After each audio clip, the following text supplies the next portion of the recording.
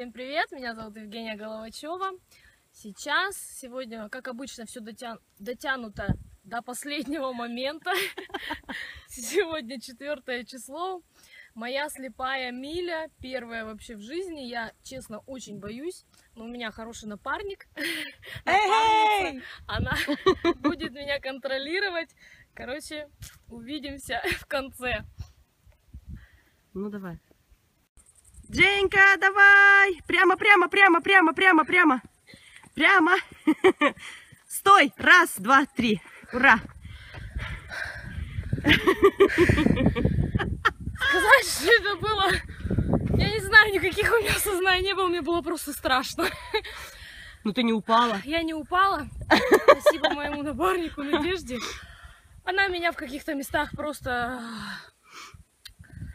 держала за руку и проводила, потому что ну реально было страшно. Цели, цели, цели, цели в голове были до этого сложены, конечно, что я хочу. Самое главное, я хотела выйти из зоны комфорта в этом тренинге, потому что у меня есть такая проблема. Я хочу много чего хочу, но я сижу, и мне хочется выйти, выскочить из этого и просто начать что-то делать.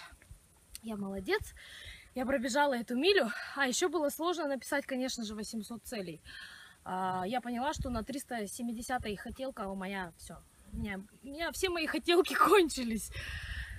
Но мы будем стараться, будем двигаться дальше. Алекс, задание супер. Я его выполнила. Пока.